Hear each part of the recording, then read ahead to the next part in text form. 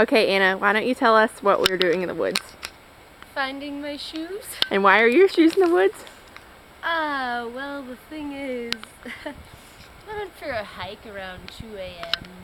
and, uh, you know, I was being hunted down by our dean of students. And I was, I was, you know, kind of thinking like Bear Grylls. I'm like, okay, these have reflectors. They're light.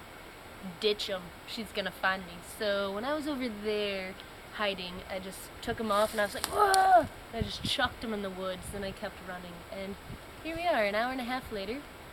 We found them. We found the shoes. Yay!